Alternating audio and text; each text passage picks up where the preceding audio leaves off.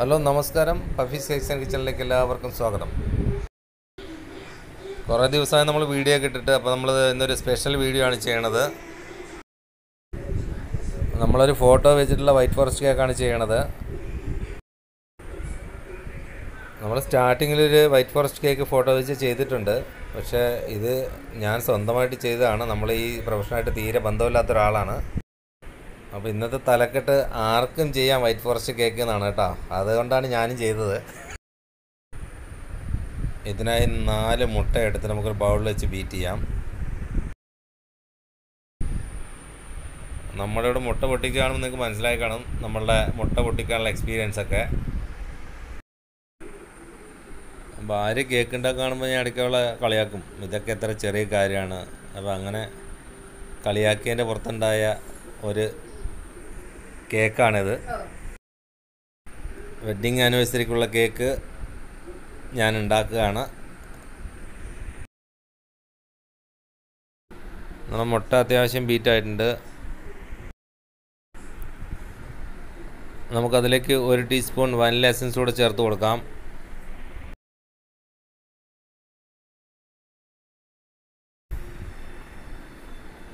ഇതിന്റെ കൂടെ ഒരു കപ്പ് പൊടിച്ച പഞ്ചസാര ചേർത്ത് കൊടുക്കാം. അപ്പോൾ കുറേശ്ശെ കുറേശ്ശായി ചേർത്തിട്ട് നമുക്ക് നന്നായിട്ട് ബീറ്റ് ചെയ്തെടുക്കാം. അപ്പോൾ ഇതിന്റെ അളവും കാര്യങ്ങളൊക്കെ ഞാൻ നേരത്തെ തന്നെ നോക്കി വെച്ചിട്ടുണ്ടായിരുന്നു. അപ്പോൾ അതനുസരിച്ച് ഞാൻ എടുത്തു വെച്ചിരുന്ന സാധനങ്ങളാണ് ഇടുന്നത്. അപ്പോൾ ഇതെല്ലാം അളവൊക്കെ ക്ലിയർ ആയിരുന്നാൽ മാത്രമേ കേക്ക് ക്ലിയർ ആയിട്ട് വരുള്ളൂ. അപ്പോൾ നമ്മൾ അളവുകളെല്ലാം ക്ലിയർ ആയിരിക്കാൻ എപ്പോഴും ശ്രദ്ധിക്കുക. ഇത് ഏകദേശം ബീറ്റ് ആവാനായിട്ട് ഒരു അഞ്ചാറ് മിനിറ്റ് എടുക്കും. അപ്പോൾ അത് കണ്ടിന്യൂ ആയിട്ട് നമ്മൾ ബീറ്റ് ചെയ്തുകൊണ്ടിരിക്കുക ഫുൾ സ്പീഡിൽ ബീറ്റ് ചെയ്യുക. ഇനി കേക്കിന് വേണ്ട ഡ്രൈ ഇൻഗ്രീഡിയന്റായ മൈദ ഒരു കപ്പ് ഒരു ടീസ്പൂൺ ബേക്കിംഗ് പൗഡർ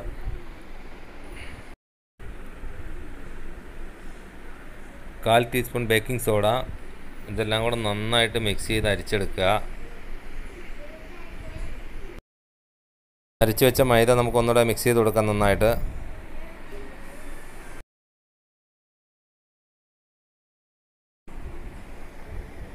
അടിച്ചു വെച്ചിരിക്കുന്ന മുട്ടയിലേക്ക് മൈദ കുറേശ്ശെ കുറേശ്ശെ ചേർത്ത് കൊടുത്തിട്ട് നന്നായിട്ട് ബീറ്റ് ചെയ്തെടുക്കാം.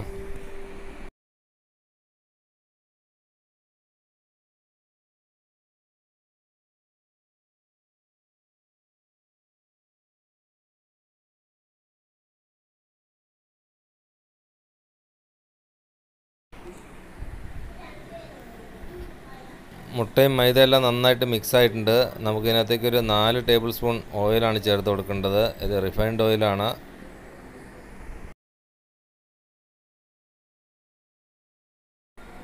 ഓയിൽ ചേർത്ത് കഴിഞ്ഞാൽ പിന്നെ ഓവർ ബീറ്റ് ചെയ്യരുത്. അതുകൊണ്ട് ലോ സ്പീഡിൽ ബീറ്റ് ചെയ്യാൻ പ്രത്യേകം ശ്രദ്ധിക്കുക.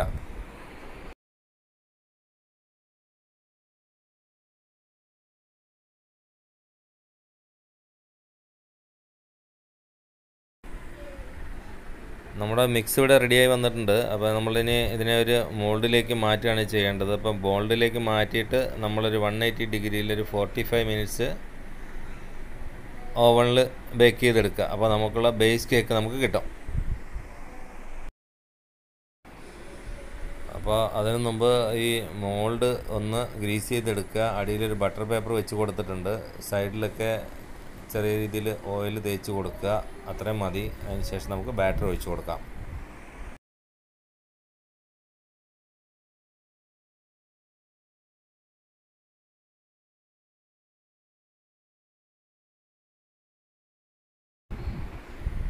ഇതെല്ലാം നമ്മൾ കണ്ടു പഠിച്ചതാണ്. പിന്നെ അവിടെ ഇവിടെയൊക്കെ നോക്കിയതാണ് ഞാൻ ചെയ്യണത്.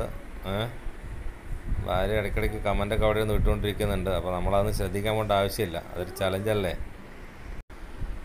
അപ്പോൾ നമ്മുടെ കേക്കിനെ നമുക്ക് ഓവനിലേക്ക് വെക്കാം. അപ്പോൾ അതിന് ശേഷം നമ്മൾ ഈ വേണ്ട ക്രീം ഐസിങ് ചെയ്യാനുള്ളതെല്ലാം നമുക്ക് റെഡിയാക്കി എടുക്കാം.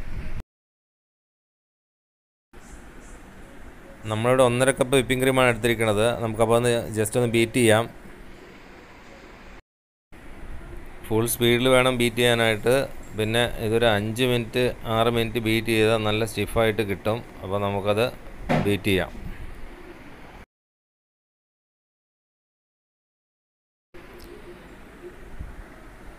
കുറച്ച് ബീറ്റ് ആയിട്ടുണ്ട്. അപ്പോൾ നമുക്ക് ഇതിനകത്തേക്ക് ഒരു നാല് ടേബിൾ സ്പൂണ് ഐസിങ് ഷുഗർ കൂടെ ചേർത്ത് കൊടുക്കാം.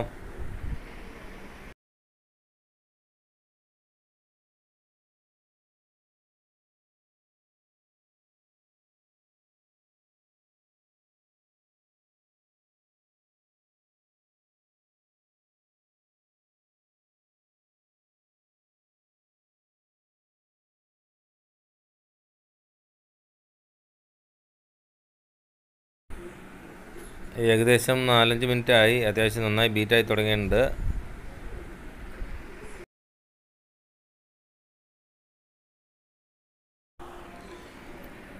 ക്രീം ബീറ്റ് ചെയ്തിട്ട് നമുക്ക് കുറച്ച് നേരം ഫ്രിഡ്ജിൽ വെക്കാം. അപ്പോൾ അതിന്റെ ഇടയിൽ നമുക്ക് വേറെ കുറച്ച് പണികളുണ്ട്. ഈ കേക്ക് പുറത്തെടുത്ത് കട്ട് ചെയ്ത് സ്ലൈസ് ആക്കുക അങ്ങനെയുള്ള പരിപാടികൾ. അപ്പോൾ അതൊക്കെ ഒന്ന് നമുക്ക് ചെയ്യാം.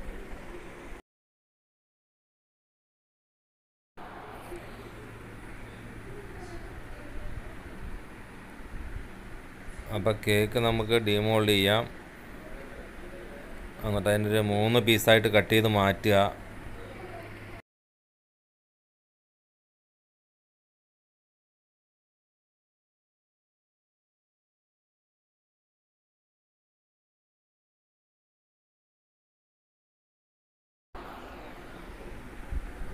ഒരു നയൻ ഇഞ്ചിന്റെ ബോർഡാണ് ഞാൻ ഇവിടെ എടുത്തിരിക്കുന്നത്. അപ്പോൾ അതിനകത്തേക്ക് നമ്മളതിനെ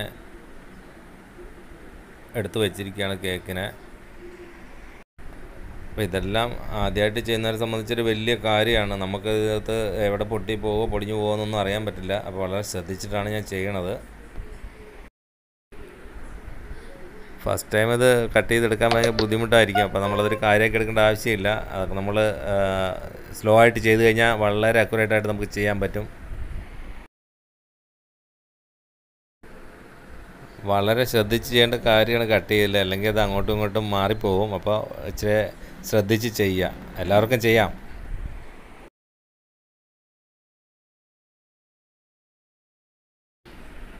അപ്പം നമ്മൾ വിജയകരമായിട്ട് മേലത്തെ ഒരു ലെയർ കട്ട് ചെയ്ത് മാറ്റി. അങ്ങനെ നമുക്ക് ബാക്കി രണ്ട് പീസ് കൂടെ കട്ട് ചെയ്തെടുക്കാം.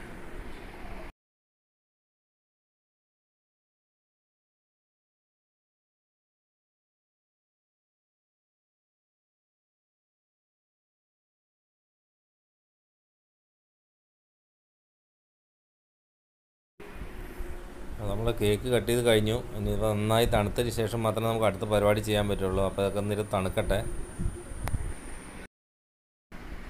അപ്പോൾ കേക്ക് എല്ലാം തണുത്തിട്ടുണ്ട്. നമുക്കിനി അകത്ത് ഐസിങ് ചെയ്യാം. അപ്പോൾ അതിനായിട്ട് നമ്മുടെ ബോർഡിൽ കുറച്ച് ക്രീം തേച്ച് കൊടുക്കുക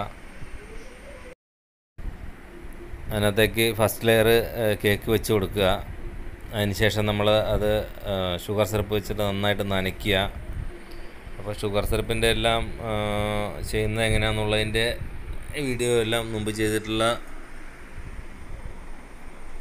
വീഡിയോയിൽ കൊടുത്തിട്ടുണ്ട്. അതിന്റെ ഡീറ്റെയിൽ എല്ലാം അതിനകത്ത് പറഞ്ഞിട്ടുണ്ട്. അപ്പോൾ അതൊക്കെ കാണുക എല്ലാവരും.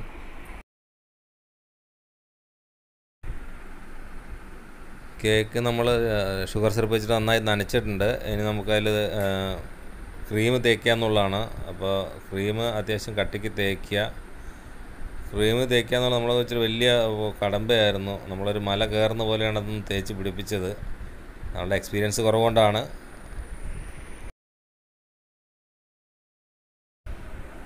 ക്രീം തേക്കാന്നുള്ളത് ഒരു ഭയങ്കരമായ കലയാണെന്ന് എനിക്ക് തോന്നുന്നുണ്ട്. നമുക്കത് കുറവാണ്. അപ്പോൾ നല്ല കലയുള്ളവർക്കൊക്കെ നന്നായിട്ട് തേച്ച് പിടിപ്പിക്കാൻ പറ്റും. അടുത്തതിന്റെ മേലെ കുറച്ച് സ്ട്രോബെറി ക്രഷ് തേക്കുക എന്നുള്ളതാണ് അപ്പോൾ അത് തേച്ച് പിടിപ്പിക്കാം.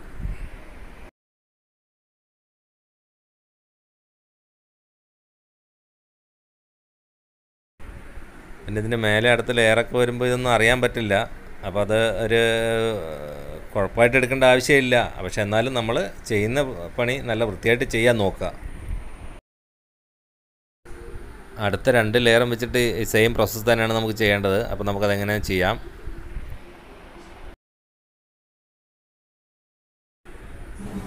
അപ്പോൾ നനച്ച് കൊടുത്തിട്ടുണ്ട്. നനച്ചതിന് ശേഷം നമുക്കിനി ക്രീം തേക്കുക. ക്രീമിന്റെ മേലെ നമ്മളുടെ സ്ട്രോബെറി ക്രഷ് ഇടുക.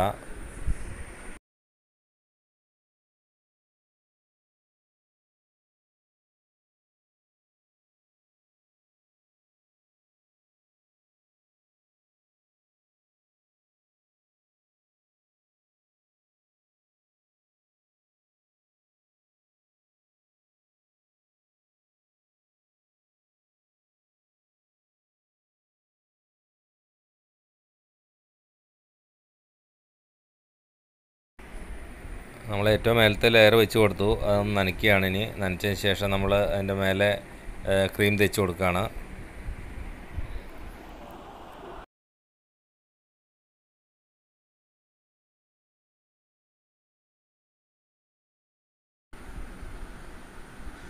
കേക്ക് ബേക്ക് ചെയ്യുന്ന ടൈം വിട്ട് കഴിഞ്ഞാൽ ഏറ്റവും കൂടുതൽ ടൈം എടുക്കുന്നത് ഈ ക്രീം തേക്കാനാണ്.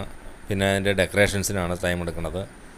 അപ്പോൾ ഇത് രണ്ടും നമ്മളുടെ ജോലിയായിട്ട് തീരെ ബന്ധമില്ലാത്ത പരിപാടിയാണ്. അപ്പോൾ അതുകൊണ്ട് കുറേ അധികം ടൈം എടുത്തു ഇത് ചെയ്യാനായിട്ട് എനിക്ക്.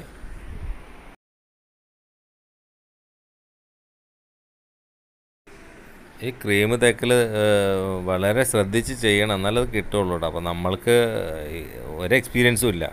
നമ്മൾ ഭാര്യ ചെയ്യുമ്പോൾ കാണുന്നു മാത്രമേ ഉള്ളൂ.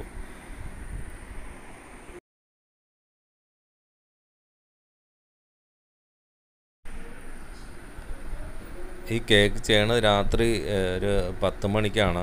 അപ്പോൾ നമ്മൾ ലാസ്റ്റ് ചെയ്ത് കഴിഞ്ഞപ്പോൾ ഒരു ഒന്നര രണ്ട് മണിയുടെ അടുത്തായി.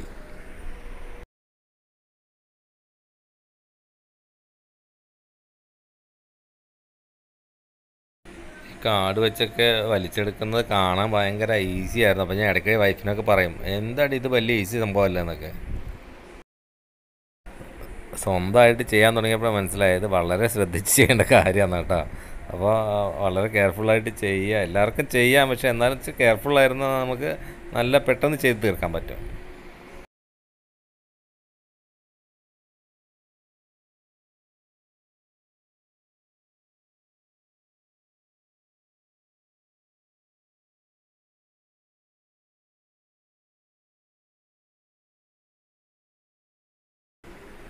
എനിക്ക് ഏറ്റവും കൂടുതൽ ടൈം എടുത്തത് ക്രീം തേക്കാനാണ് കേട്ടോ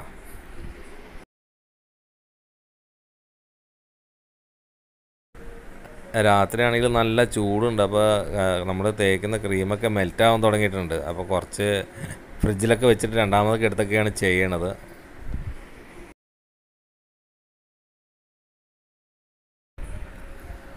ഈ വീഡിയോ എല്ലാവർക്കും ഇഷ്ടമായിട്ടുണ്ടെന്ന് വിചാരിക്കുന്നു. അപ്പോൾ ഇഷ്ടമായി കഴിഞ്ഞാൽ എല്ലാവരും ഒന്ന് സബ്സ്ക്രൈബ് ചെയ്യാൻ മറക്കരുത്. നിങ്ങളുടെ ഫ്രണ്ട്സിനെല്ലാം ഒന്ന് പറയുക സബ്സ്ക്രൈബ് ചെയ്യാനായിട്ട്. ഇതിന്റെ മേലെയുള്ള ഡെക്കറേഷൻ ഭയങ്കര ഹാർഡായിരിക്കും എനിക്ക് അറിയാമായിരുന്നു അപ്പോൾ ഞാൻ അത് അവോയ്ഡ് ചെയ്യാൻ വേണ്ടിയിട്ട് നേരത്തെ തന്നെ ഒരു ഫോട്ടോ എടുത്ത് എഡിബിൾ ഷീറ്റിലേക്ക് പ്രിന്റ് എടുത്ത് വെച്ചിട്ടുണ്ട്. അപ്പോൾ അത് വെച്ചിട്ടുള്ള ഡെക്കറേഷനാണ് ഇവിടെ ചെയ്യണത്. പഴയൊരു മെമ്മറിയാണ് കല്യാണം കഴിഞ്ഞ ആ സമയത്ത് വൈഫും ഞാനും കൂടെ നിന്നിട്ടെടുത്തൊരു ഫോട്ടോയാണ് ഇത് ഷുഗറിന്റെ ഷീറ്റാണ് അപ്പോൾ നമുക്കത് എഡിബിളാണ് കഴിക്കുകയും ചെയ്യാം അതിന് കുഴപ്പമൊന്നുമില്ല. അപ്പോൾ ഇത് നമ്മൾ പുറത്ത് ചെന്ന് കടയിൽ നിന്ന് പ്രിന്റ് ഔട്ട് ചെയ്ത് കൊണ്ടുവരിക ചെയ്തത്. അപ്പോൾ നമുക്കിത് ഡെക്കറേഷൻ ചെയ്യാം. സൈഡിലേക്കെല്ലാം നമുക്ക് വൈറ്റ് ചോക്ലേറ്റ് വെച്ചൊന്ന് ഡെക്കറേഷൻ ചെയ്യാൻ അതിന് വേണ്ടിയിട്ട് കുറച്ച് ചോക്ലേറ്റ് ഞാൻ കട്ട് ചെയ്ത് വെച്ചിട്ടുണ്ട്.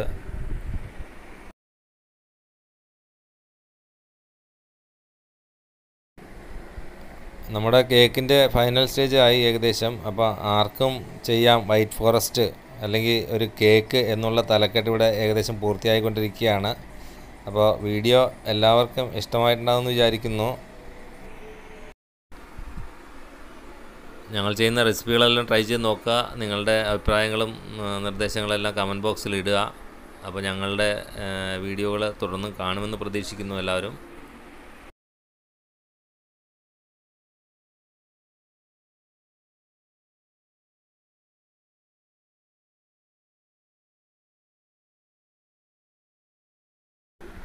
ഇത് ഞങ്ങളുടെ പതിനാലാമത്തെ വെഡ്ഡിങ് ആനിവേഴ്സറിയാണ് നിങ്ങളുടെ എല്ലാം ആശംസകളും അനുഗ്രഹങ്ങളും ഉണ്ടാവുമെന്ന് പ്രതീക്ഷിക്കുന്നു. അടുത്തൊരു വീഡിയോയുമായി വീണ്ടും കാണാം. അതുവരേക്കും നന്ദി നമസ്കാരം. താങ്ക്